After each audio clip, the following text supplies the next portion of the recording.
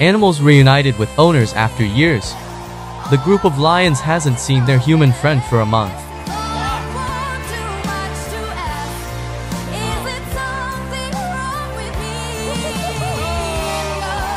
The reunion of the little monkey with her savior after a year of separation.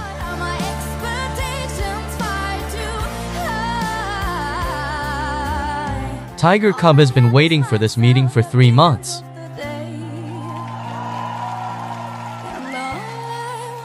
for there to be